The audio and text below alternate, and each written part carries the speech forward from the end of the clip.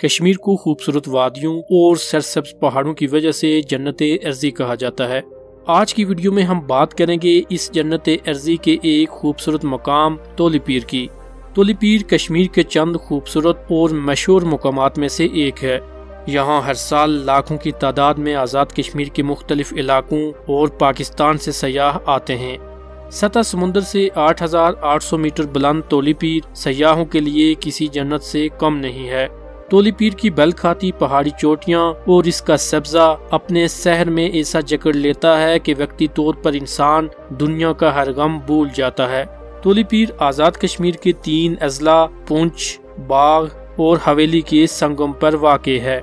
जिला पुंछ के मशहूर शहर रावलाकोट से तोलीपीर का फासला महज 30 किलोमीटर है। रावलाकोट शहर से तोलीपीर तक एक बेहतरीन सड़क तामीर हो चुकी है, जो कि तकमील के आखिरी मराहल में है। इस सड़क की तामीर की वजह से डेढ़ घंटे में रावलाकोट से तोलीपीर पहुँचा जा सकता है। तोलीपीर से लसडना बाग, अब्बासपुर और मकबूजा कश्मीर के जिला पुंछ का नज़ारा किया जा सकता है। यहाँ से दिन के उजाले में ये तय करना मुश्किल है कि आज़ाद कश्मीर के ज़िला पुंछ और मकबूजा कश्मीर के ज़िला पुंछ के दरमियान वो कौन सी लकीर है जो इन इलाकों को आपस से अलग करती है। अलबत् रात को तोली पीर से लाइन ऑफ़ कंट्रोल पर इंडिया की तरफ़ से बनाई गई बाढ़ बिजली के कुमकुमों से अपने वजूद का एहसास दिलाती है। इस लाइटिंग को देखकर ये मालूम हो जाता है कि इस बॉर्डर से आगे मकबूजा पुंछ शुरू होता है। तोली पीर की सबसे ऊँची चोटी पर एक मज़ार है। बाज लोगों का कहना है कि ये पीर बादशाह गिलानी का मज़ार है। लेकिन अक्सर लोगों का कहना है कि यहाँ कोई मज़ार नहीं है, बल्कि ये पीर शाह हमदान की बैठक है। क्योंकि तकसीम कश्मीर से पहले तोली पीर के करीब से एक मशहूर गुजरगाह थी, इसलिए शाह हमदान जब भी इस रास्ते से अपने मुबलगिन के साथ गुजरते तो तोली पीर के पहाड़ पर कुछ दिन क्याम करते और यहाँ चिल्ला कशी करते थे।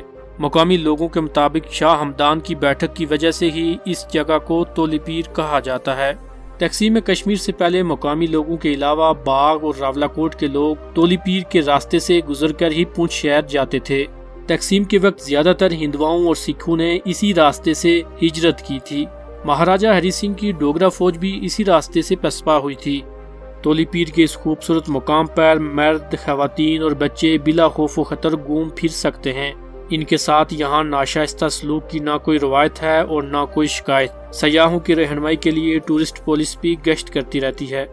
तोली पीर पर सैर का बेहतरीन मौसम अप्रैल से सितंबर तक है। इस सीज़न में तोलीपीर पर हर रोज तकरीबन पाँच से सात हज़ार सयाह विज़िट के लिए आते हैं।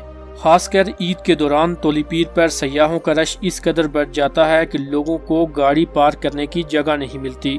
नवंबर के महीने से तोलीपीर का सब्ज लिबादा सफ़ेद चादर में तब्दील हो जाता है। यहाँ बहुत ज़्यादा बर्फ़ पड़ती है। सर्दियों में भी सयाह बर्फबारी से लुत्फ अंदोज होने के लिए तोलीपीर का रुख करते हैं। तोलीपीर के बेस कैंप में पार्किंग के साथ एक बोसीदा सा होटल है। यहाँ खाना और चाय बसानी मिल जाती है। क्याम के लिए तोलीपीर से थोड़ी ही दूरी पर गोड़ी मार के मुकाम पर एक सरकारी रेस्ट हाउस मौजूद है। इस सरकारी रेस्ट हाउस के अलावा करीब ही मुकामी लोगों ने गेस्ट हाउस और होटल्स खोले हुए हैं। तोलीपीर के नज़दीक तीन छोटे छोटे बाज़ार हैं, जिनका नाम बनबैग शहीद गला और डंडा नंबर चार है। इन बाजारों में सयाहों के लिए चीज़ों और कमरों का वही रेट होता है जो यहाँ रहने वाले मुकामी लोगों के लिए होता है। तोलीपीर का नज़दीक तरीन बाज़ार डंडा नंबर चार है, जहाँ से जरूरियात ज़िंदगी का तमाम सामान मिल जाता है।